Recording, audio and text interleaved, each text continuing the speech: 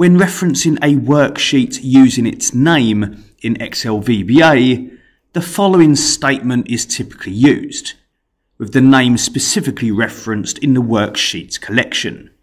In this workbook, you can see I've got two worksheets, summary and financials, and if I was to run this code, then it will happily write the value of 50 to cell B4 of the financial sheet.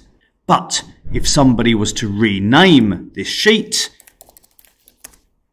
then when I run the code, I will receive the subscript out of range error as that sheet no longer exists.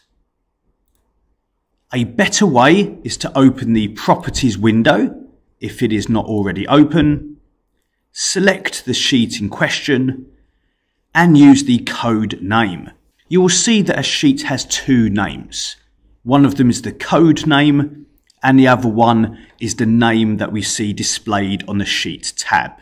In the properties window, the code name is the one enclosed in the brackets and we can change that to what we want and then edit the code appropriately so that we have a more concise way of referencing that sheet name, but also it was more robust against possible changes within the UI of Excel.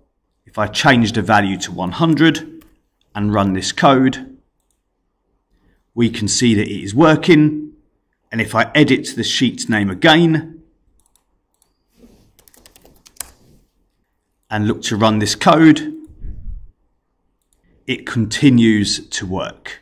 So when referencing a worksheet specifically in Excel VBA, the code name is your secret VBA trick for more concise and robust macros.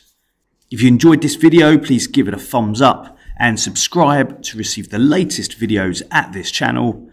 Take care, and I'll see you again soon.